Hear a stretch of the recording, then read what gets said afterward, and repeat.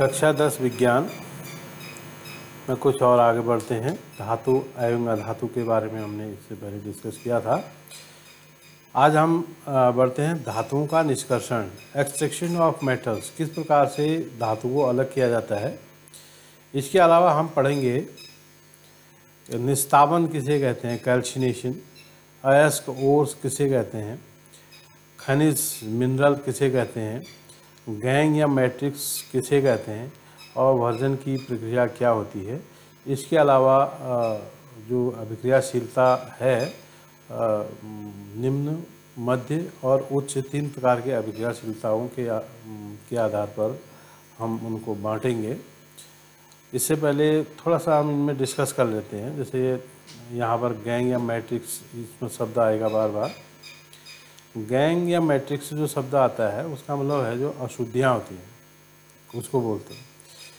फिर से हम इसमें आएँगे फिर। खनिज किसे कहते हैं? भूपट्टी में प्राकृतिक रूप से पाए जाने वाला जो यौगिक है या तत्व है, उनको खनिज बोलते हैं। प्राकृतिक रूप से जो भी मिला, उसमें बहुत सारी चीज़ें मिली रहती हैं। उसको हम खनिज कहते हैं। और दूसरी चीज़ आती है यहाँ पर, अयस्क, ओस। ओस का मतलब जिसमें कोई एक विशेष धातु की मात्रा अधिक मात्रा में होती है तो हम उसे अयस्क कहते हैं ऊर्स कहते हैं। फिर से एक बार आएँगे हम इसमें। तो शुरुआत यहाँ से करते हैं, धातुओं का निष्कर्षण एक्सट्रैक्शन ऑफ़ मेटल्स किस प्रकार से किसी धातु को अलग किया जाता है? देखो, प्राकृति, प्रकृति में जो धातुएँ होते हैं, जैसा हम, जैसे लोहा, चांदी, सोना जो भी पोटेशियम है या सोडियम है, कोई भी धातु, जिंक है, एल्युमिनियम है, जो भी धातु है, वो उसी रूप में नहीं मिलती जिस रूप में हम उसे देखते हैं। जिस रूप में हम कोई धातु के बर्तन, इत्यादि या कोई भी मटेरियल उसका, ये कोई भी चीज़ उसका बनाते हैं तो उसी रूप में वो मिलती नहीं है। तो उसका अलग करने की ज़रूरत पड़ती है तो उसको कहते हैं हम एक्सट्रैक्शन ऑफ़ मेटल धातु का निष्कर्षण। देखिए, कुछ धातुएँ भूपट्टी पर स्वतंत्र अवस्था में पाई जाती हैं तथा कुछ धातुएँ अपने यौगिक के रूप में रहती हैं और सक्रियता श्रेणी में नीचे वाली धातुएँ सबसे कम क्रियाशील होती हैं तथा स्वतंत्र अवस्था में पाई जाती हैं। ये आपने पहले भी देखा कि ये एक सक्रियता श्रेणी है। इसमें जो नीचे वाले हैं, जैसे ये सोना चांदी, ये बहुत कम क्रियाशील होते हैं। मतलब इनको हम कहते हैं क्रिया ही नहीं करते हैं मानते हैं। बहुत कम क्रियाशील कहते हैं। तो ये स्वतंत्र रूप पर भी पाए जाते हैं। जैसे सोना है, सोने को ए यू बोलते हैं, चांदी को ए जी बोलते हैं, तांबे को सी यू बोलते हैं। ये कम क्रियाशील है। तो कॉपर एंड सिल्वर अपने सल्फाइड या ऑक्साइड अयस्क के रूप में संयुक्त अवस्था में पाए जाते हैं। जब वो पाए जाते हैं तो उनके ऑक्साइड के रूप में पाया जाएगा वो, ठीक है? और जो जिंक है, आयरन है, लेड है, ये इनकी अभिकाशिता मध्यम की होती है। मध्यम मतलब न बहुत अधिक तेज न कम। तो ये धातु मुख्य रूप से ऑक्साइड या सल्फाइड या कार्बोनेट के रूप में पाए जाते हैं प्रकृति में। तो सक्रियता श्रेणी में सबसे ऊपर आने वाले जो धातुएँ हैं जैसे पोटेशियम है देखो पोटेशियम दिख पोटेशियम है सोडियम है कैल्शियम है मैग्नीशियम है और एल्यूमिनियम है। ये बहुत अधिक क्रियाशील होती हैं तथा ये आ, कभी स्वतंत्र रूप से पाए नहीं पाए जाते हैं। तो क्रियाशीलता के आधार पर तीन प्रकार से ये धातुएँ होती हैं। एक होता है अधिक क्रियाशील, एक होता है मध्यम क्रियाशील, एक होता है सबसे कम क्रियाशील।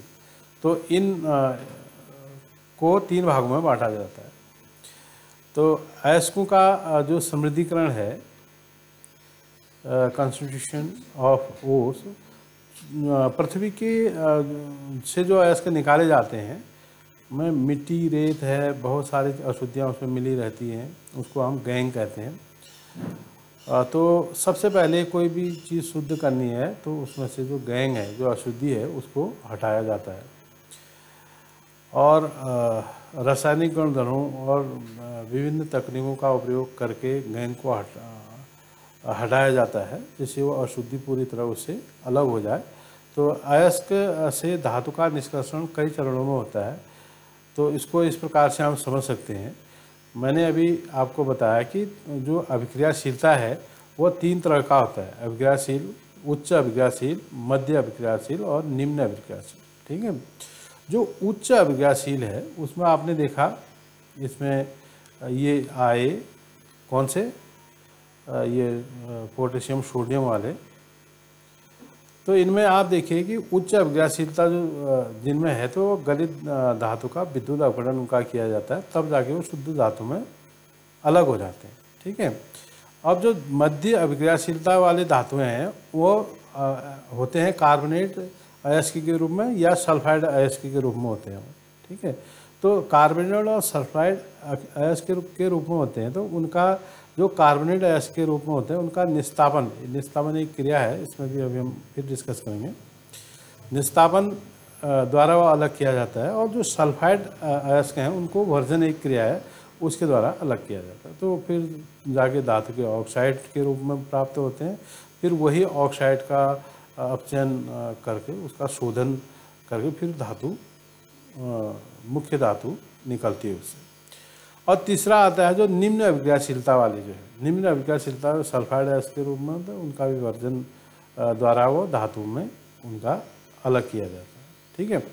तो सक्रियता श्रेणी में नीचे आने वाले धातुओं का निष्कर्षण सक्रियता श्रेणी में जो नीचे आने वाले धातुओं कम अभिक्रियाशील होती हैं तो इन धातु के ऑक्साइड को केवल गर्म करके ही प्राप्त किया जा सकता है। जैसे ये है ना, निम्न अभिक्रियाशीलता वाले। इनको गर्म करके ही अलग किया जा सकता है। पारे का एक अयस्क है, एच को वायु में गर्म करने पर यह सबसे पहले मर्क्यूरी ऑक्साइड में परिवर्तित होता है। देखिए एच एस को ओ टू में एच जी में परिवर्तित हो गया। एच है ना मेटल तो ये है ये एच तो इसको फिर तापन दिया जाता है तो ये फिर एच अलग हो गया। ये देखो एच अलग हो गया और ओ टू अलग हो गया। इस प्रकार से अलग कर सकते हैं। इसी प्रकार सी यू है। सी यू पहले ऑक्सीजन से क्रिया करेगा तो सी यू उसी का ऑक्साइड बनेगा कॉपर का ऑक्साइड बनाएगा। फिर वही कॉपर ऑक्साइड का फिर उस पर तापन द्वारा फिर कॉपर अलग हो जाता है। तो इस तरह से ये अलग किया है। और जो मध्य श्रेणी के हैं, दूसरा हमने कहा था ना, यहाँ पर देखिए मध्यम जो क्रियाशीलता है तो उनको भी कैसे अलग किया जाता है? यह प्राय सल्फाइड या कार्बोनेट के रूप में ये भी होते हैं। तो सल्फाइड या कार्बोनेट को सर्वप्रथम धातु ऑक्साइड में परिवर्तित करना ज़रूरी होता है।